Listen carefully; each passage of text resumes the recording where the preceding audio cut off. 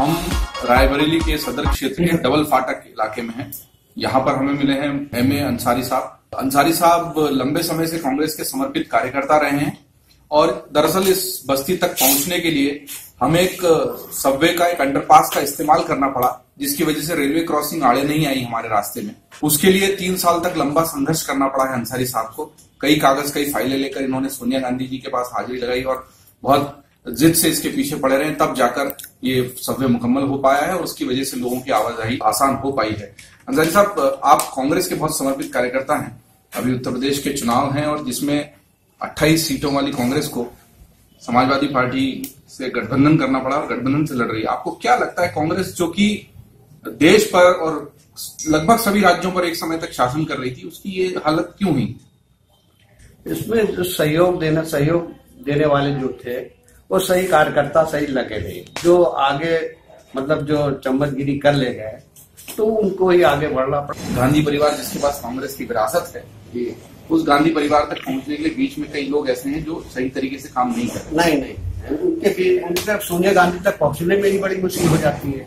और सही आदमी को उनके आदमी पहुँचने नहीं देते कि ये कहीं अपनी छाप न बनाए। और सही बात न बताते अगर सही बात उनको प्रियंका जी को मालूम हो जाए या सोनिया जी को मालूम जाए तो ये सब मामले ही खत्म हो जाए लेकिन सही आदमी उनके पास पहुँच ही नहीं पाता है, पहुँचने दिया ही नहीं जाता है। बहुत ही मुश्किल में पहुँचे, हम सोनिया गांधी जी के पास पहुँचे तो उनको बहुत मुश्किल में वो हमने फ़ाइल दिया।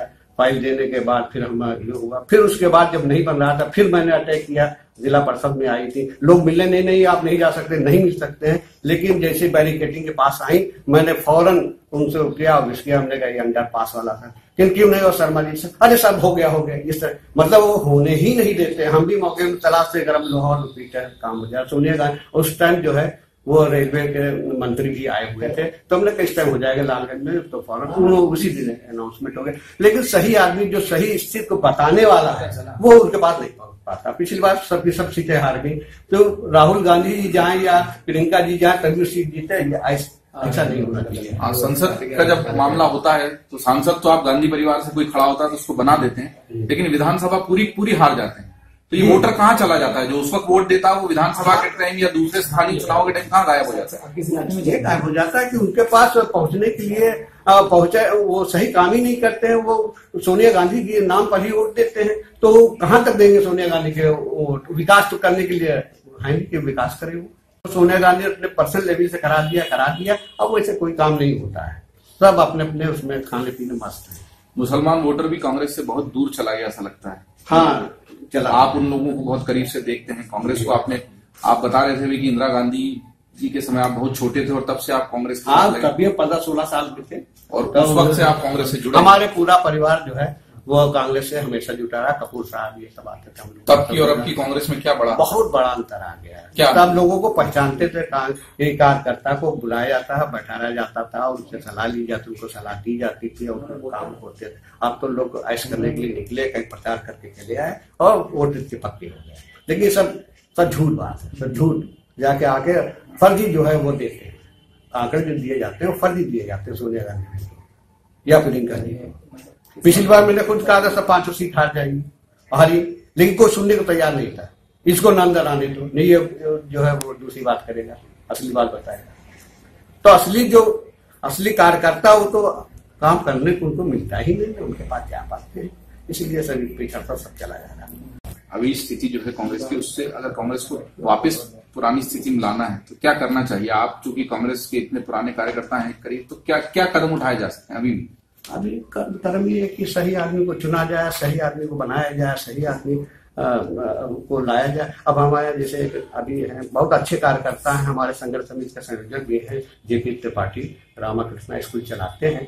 वो बहुत अच्छे कार्यकर्ता हूँ ईमानदार आदमी है। अब उनकी नहीं सुनी जाए, क्योंकि जो बड़ा अध्यक्ष का जैसे उनको जिला अध्यक्ष उन्हीं को बनना चाहिए। हमारी समझ से उनको बनना चाहिए। जो दूसरों की मदद करे, निस्वार्थ मदद करे, वही आगे बढ़ा सकता है। उसको सही आदमी को चुनाव हो नहीं पाता है। जो करीब है वो वही हो पाता है। अब प्रियंका जी को सोनिया गांधी जी बात में राहुल जी को समझना चाहिए। ये सही आदमी आ गए। मेरे ख्याल से मोहम्मद अंसारी साहब जो सत्तर साल के हो चुके हैं और इनकी बूढ़ी आँखों ने दरअसल वो सब देखा है जो कांग्रेस का चरम था और वहाँ से ये स्थिति है कि एक एक सीट बचाने के लिए संघर्ष करना पड़ रहा है। और जैसे बिहार में वो केवल गठबंधन की पार्टी, सहयोग की पार्टी बन के रह गई, वही हालत अभी है कि समाजवादी पार्टी की पिछलग्गू बनकर चुनाव लड़ रही है और अपने कार्यकर्ताओं का, की अनदेखी करने की वजह से कांग्रेस की स्थिति हुई है। बात शायद सही भी कि संसद में शोर मचाने से संगठन मज़बूत नहीं होगा। कांग्रेस के जो जिला स्तर के इकाइयाँ हैं, जो सेवा दल है, एनएसयूआई है, जो उनकी यूथ विंग है, वो पूरी लगभग खत्म सी पड़ी है। और अंसारी साहब के शब्दों में वो दर्द झलकता है जिससे कांग्रेस हम रायबरेली में बैठे हैं। सोनिया गांधी यहाँ से सांसद हैं, अमेठी से राहुल गांधी सांसद हैं। और यहाँ के लोगों का दर्द शायद समझना होगा। हम लोग बहुत बहुत वाकई में आँसू निकलते हैं कि कांग्रेस क्या हाल हो गया और कांग्रेस को वापस आना चाहिए। लेकिन वो सही आदमी का चुनाव नहीं हो पा रहा, ना उनके पास पहुँच पाते हैं। वो जो चम्मच है तो वही लोग पहुँच जाते हैं और बीच बीच रोकते हैं, वो जा ही नहीं, मिल ही नहीं पाते हैं। हम हम जैसे जो अध्यक्ष रायबली जनी संघर्ष समिति के अध्यक्ष हैं हमको मिलने बड़ी दिक्कत नहीं मिल सकते। लेकिन किसी न किसी जुगाड़ ज़बरदस्ती का किस तरह हम पहुँच के सोने जी के पास पहुँचे कराया। अब चाहते हैं कि हम असली बार बताओ तो बता ही नहीं पाते। तो यहाँ पर के शर्मा जी बैठे इनको इससे कोई मतलब नहीं। इनको तो बस ये कि खास खास इनके आदमी वही बस एंट्री कर पाते नहीं, नहीं कर पाते जब तक सही आदमी नहीं जाएगा सही जानकारी हो ही नहीं पाएगी। प्रैक्टिकल समझा